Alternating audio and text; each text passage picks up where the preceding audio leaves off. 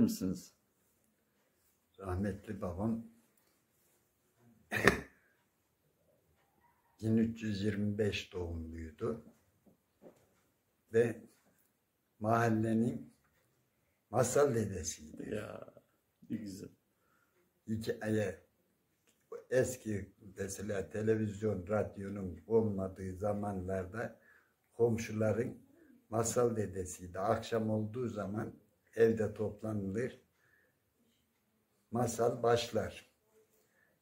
Bazen masallar çok uzun olurdu. Uzun olduğu zaman rahmetli devamı yarına derdi, kapatırdı. Ertesi gün bir bakarız yine aynı ekip çoluk çocuk hepsi toplanır komşular gelir. Devamlı evde eski masallardan yaşanmış hikayelerden anlatır. Onlar da koyunun kaval dinlediği gibi dinlerlerdi. Ee, Peki e, rahmetli Yakup amca bunları nereden öğrenmiş? Yani kim anlatmış ona bu kadar masalı hikayeyi? Bu kadar masalı hikayeyi rahmetlik kendi mesela okuma değil de Evet. başkasından dinlediğini birebir anlatırdı rahmetlik. Bir yerden duysun hafızasında. Yeter ki duysun. Evet. Hafızası çok güçlüydü rahmetli. Devamlı olarak mesela ilkokul mezunu olmasına rağmen hafızası çok kuvvetliydi. Evet. Devamlı olarak bir yerde bir şey duyduğu zaman onu eksiksiz gelir evde tekrarlardı rahmetli. Ve mesela Arapça okumamasına rağmen hocanın arkasında namaz kılarken bütün sureleri ezberlemiş bir insandı. Bütün sureleri ezberlemiş bir insandı. O kadar şeydi yani. Hafıza var. Hafıza. Maşallah. Ee, peki e, e, hocam size e, hiç intikal etmedi mi? E, O masallardan, hikayelerden e, e, bildikleriniz, duyduklarınız oldu mu hafızada Çok kalan? mesela. Evet. Çok. En basiti mesela şey ya. Askınoğlu, Uskunoğlu, Edrenikçioğlu, Kelmiskinoğlu, babam ben ava gittik diye başlardı rahmetlik. Evet. Askınoğlu attı vuramadı. Uskunoğlu attı vuramadı. Ben attım. Yaşasın yiğit koluna güvet. Her attığını böyle at. Ayağının dibinden tozut dediler. Doğmadık tavşanı bitmedik yavşanın dibinde vurdum. Bunu pişirelim dediler. Bir köy aramaya başladık. Gittik gittik. E, Vardığımız yerde yarısı yıkılmış, baş, çoğunun hiç duvarı olmayan bir köye rastladık. Orada iki tane koca karı rast geldi. Biz tavşan pişireceğiz. Bunu nerede pişirebiliriz dedik. Size tuz lazım dedi. Ama bizim burada tuzu bilmezler. Hiç diyeceksiniz. Dediler. Biz de o köyden yola çıktık, devam ettik. Giderken hiç ha hiç hiç unutmayalım diye hiç ha hiç hiç ha hiç diyerek gidiyorduk. O dönemde yerin padişahı ölmüş. Biz de hiç ha hiç hiç ha hiç derken zaptiyeler geldi bizi çevirdiler. Ondan sonra niye hiç diyorsunuz? Hiç eklenir mi? Koskoca padişah öldü deyince ne diyeceğiz dedim, dedik diyor. Allah rahmet eylesin, Mevla rahmet eylesin diyeceksiniz dediler diyor. Biz diyor yola başladık. Allah rahmet eylesin, Mevla rahmet eylesin diyerek gidiyoruz diyor. Bir affedersin bir köpek ölüsünün başına rast geldik diyor. Köpeğin başında diyor Allah rahmet eylesin, Mevla rahmet eylesin derken diyor ondan geçen bir tanesi köpeğe rahmetten dilenir mi? Öf ne pis kokuyor ne fena kokuyor deseniz ne? Dediler diyor. Bu sefer de başladık diyor. Ne pis kokuyor ne fena kokuyor diyerek devam ediyoruz yolda diyor. Giderken diyor padişahın karısı hamamdan çıkmış. Kokularını sürünmüş giderken biz de ne pis kokuyor ne fena kokuyor diyerek diyor. Geçerken bizi diyor zaptiyeler çevirdi. Siz padişahın hanımına böyle söylemişsiniz diye bizi aldılar saraya götürdüler diyor. Sarayda bizi sorguya çektiler diyor. Orada bayağı bir diyor eziyete maruz kaldık diyor.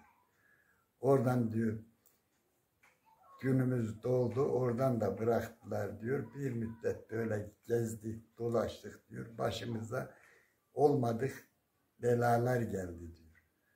Rahmetlik bunları böyle anlatırdı. Biz de dinlerdik. Ee, hocam siz e, kaç doğumlusunuz? Ben 45 doğumluyum. Siz e, kendinizden bahseder misiniz bize? 1945 doğumluyum. Şu an 77 yaşındayım. İlkokul öğretmeniydim. Evet. Emekli olalı 25 yıl oldu. Nerelerde görev yaptınız? İlk görev yerim Doğu. Evet. Doğudan tekrar bir albayın vasıtasıyla Ankara Beypazarı'na tayinim çıkarıldı. Orada dört yıl Beypazarı'nda çalıştım. Dört yıldan sonra tekrar Bünyan ilçemize geldim. Bünyan ilçemizde dört yıl Yeni Mahalle İlkokulu'nda Gergene. Oradan sonra da 79'da Namık Kemal İlkokulu'na gelerek Namık Kemal İlkokulu'ndan emekli oldum. Evet. Yani aslında ne kadar çok öğrenciniz var değil mi? Evet, Evet. evet. Peki bu babanızın e, kadar çok e, masal ve hikaye bilmesinin e, sizin öğretmenlik hayatınızda da bir etkisi olmuş mudur? Tabii.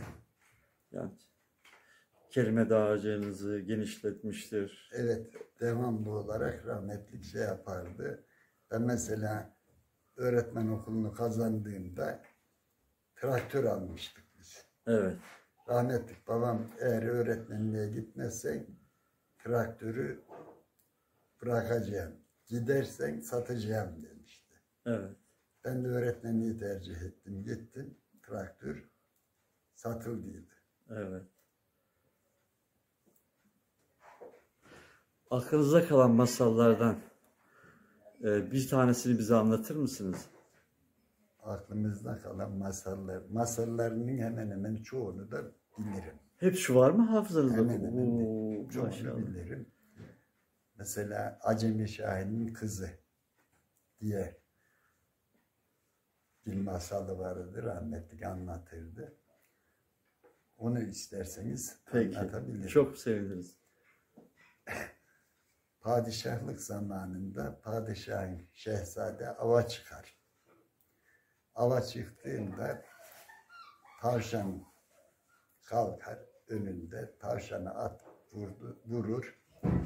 Vurduğunda tavşan tamamen ölmez in, inip kesmiş. Kestiği zaman orada da kar varmış. Karın üzerine kan aktığında şehzade şöyle bakıyor ne güzel diye şey yapıyor. Şuna bak diyor. Biri kıpkırmızı, biri bembeyaz. Dediğinde orada bir ihtiyar kadın affedersin o zaman madımak mı yemlik mi topluyormuş. Kadın şöyle bir bakıyor şehzadeye. Sen diyor ona güzel mi diyorsun diyor. Acemi Şahin'in bir kızı var diyor. Şurada görsen ay yere indi zannedersin diyor. Şehzade bunu duyunca aşık oluyor. Geliyor babasına, baba böyle böyle bana Acemi Şahin'in kızını alacaksın.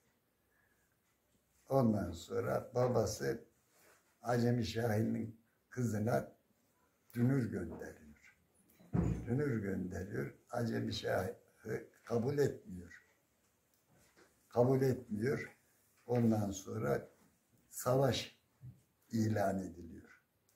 Gidin diyor, Şahı öldürün, kızını alın gelin diye savaş ilan ediliyor. Acemlere gidiyorlar. Ondan sonra Acem Şahı diyor ki benim diyor kızım evet var ama ben kızımı vereyim desem de kızım bilir. Onun bir şeyini alalım deyince diyor ki tamam diyor. Padişah padişah lalasını gönderiyor. Git diyor. Bu kızı bitir getir. Lala gidiyor. Arıyor oraya. Şah diyor ki benimle ilgisi yok. Kızımın gönlünü edin alın gidin. Bak, Lala başlıyor. Bunun kim kim kızında bir akıl hocası varmış kadın. Onu buluyor. Bunu diyor nasıl şey yaparız? Şunun bir ağzını ara diye şey yapınca kadın ana arıyor. Diyor ki işte böyle böyle. Bak padişahın oğlundan dünür geliyorlar. Seni istiyorlar. Şöyle. Yok diyor. Kesinlikle ben diyor evlenmeyeceğim. Niye evlenmiyorsun falan diyor. Kadın gelip Lale'ye söylüyor. Vallahi diyor evlenmeyeceğim diyor. Evlenmediğinin sebebini bir araştır diyor. Kadın geliyor. Kızı diyor ki Acemi Şahin'in kızına kızım diyor niye evlenmiyorsun? Sebep ne? Kız diyor ki ben bir rüya gördüm. Rüyamda bir çift geyik olarak olmuşuz. Çayırda yayılırken benim ayağım şeye erkek geyiğin ayağı diyor çay, çayırın yarığına gitti. Çabaladı çıkaramadı. Fazla şey yapsa ayağı kırılacak. Aşağıda dere vardı diyor. Ben diyor dereye gittim ağzımla su getirdim. Yarığı döktüm, yarığı yumuşattım. Geyiğin ayağını çıkardım, erkek geyiğin ayağını. İleri giderken diyor benim ayağım suya gitti Şeyi yarağa gitti. O yarıkta diyor ben kaldım diyor. Erkek geyik bıraktı kaçtı diyor. Bıraktı kaçınca diyor.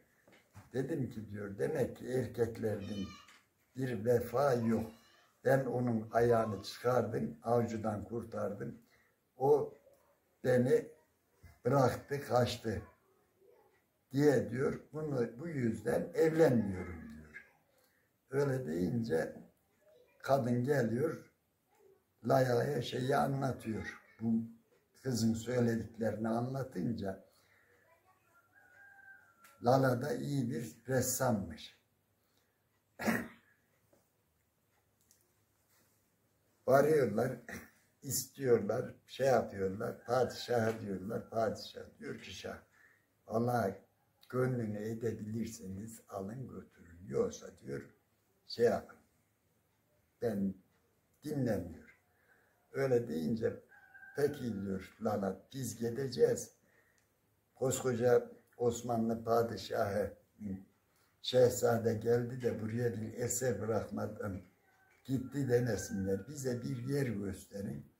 Oraya bir çeşme yaptıracağız diyor.